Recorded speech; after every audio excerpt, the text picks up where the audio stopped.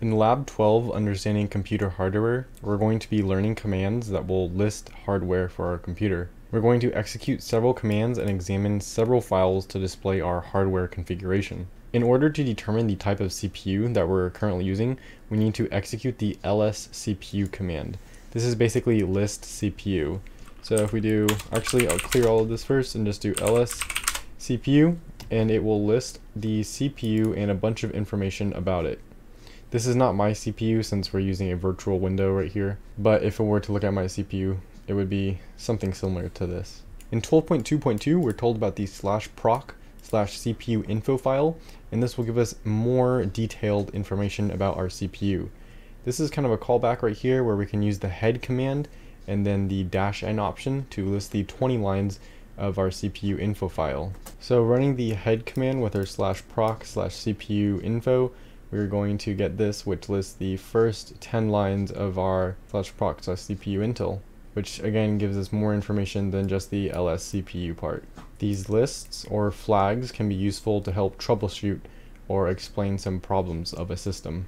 In 12.2.3 we're looking at RAM and if we do the free command with different options we're going to be able to get different results. The dash M option after the free rounds everything to the nearest megabyte.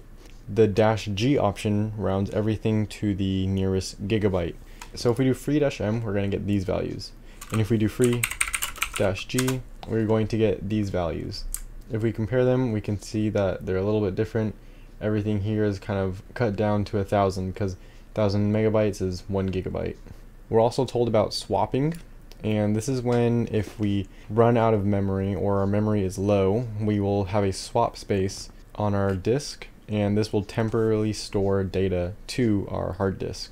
Now we're going to look at buses. To list what devices we have connected to the PCI bus we need to do the ls for list PCI command and this will list all of these things. And then we're given more information down here about support for specific devices. In our lspci command, we have the slash k option, which shows devices along with the kernel driver and modules used. So if we type in lspci with our dash k, we're going to get all of this info with the type of kernel driver that it uses. If we want to list the USBs that are connected, we will do ls USB. And I guess to this virtual machine, there are no USBs connected. Again, if it were my computer, it would probably show a mouse, a mic, Wi-Fi antenna, keyboard, and a couple other things. For hardware to function correctly on a computer, you usually need drivers for it. To list the drivers that we have, we're going to do lsmod, and this will view all of the currently loaded modules. The first column is the module name, the second column is how much memory is used in the module, and then this third column has a couple of different things depending on what it is used by. Sometimes this is incomplete, so it's not too keen to rely on these. In 12.2.8, we're briefly told about BIOS, which is basic input and output of a system. To get to it on a computer, it's usually F2 or F12 or delete. Sometimes it's some weird F keys, but it's usually F2 or F12 or delete. There's also the System Management BIOS or SM BIOS, and then we're told about the fdisk command. This is useful for identifying and manipulating disk storage resources on a system. It can be used to create, format, and delete partitions. Partitions are basically portions of a drive that are broken up. So if you have a 2 terabyte drive, basically there's little portions of that drive broken up into 500 gigabytes and then another one that's 200 gigabytes and another one that's 100 gigabytes. So it's basically like a big drive broken up into little smaller parts. The fdisk command can be used interactively and non-interactively. When we use the dash "-l option with the fdisk, the command will non-interactively list block devices.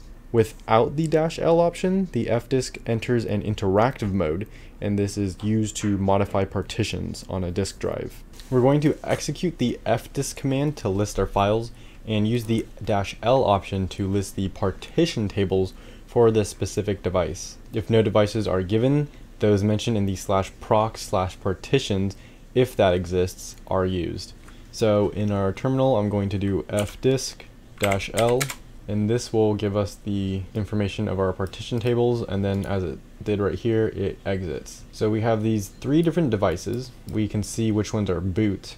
So boot means which drive it's starting from, and that has an asterisk on it. It has the start end, blocks ID and system type. That is it for this lab. Pretty short one. There's not a lot of information in this lab, so just like in every lab, there will be notes linked below with more information that's a little bit more in depth, but that's still also really short because it's notes. Also in the description is an entire playlist on Linux Essentials from chapter 1 to chapter 18, the whole thing.